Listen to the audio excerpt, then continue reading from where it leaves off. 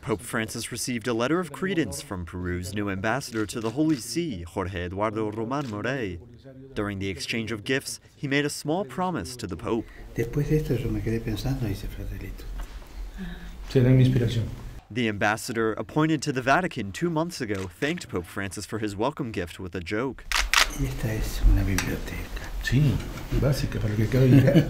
The Pope gave him eight significant documents from his magisterium, as well as his document on human fraternity and a medal with the seal of his pontificate. In return, the ambassador gave him an image of Saint Rose of Lima, the first saint of the Americas. The silver frame was carved by Peruvian artisans. He also presented a stole made with alpaca fleece from the Andes and a colorful face mask. Peru and the Holy See continue to enjoy good relations between one another. Pope John Paul II visited Peru twice during his pontificate, and Pope Francis did so once in 2018.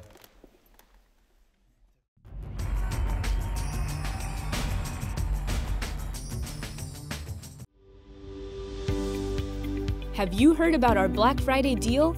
Go to www.romereports.tv today and sign up using the code BlackFriday50 to receive a 50% discount. You'll be able to enjoy the benefits of Rome Reports Premium and get access to all our exclusive content.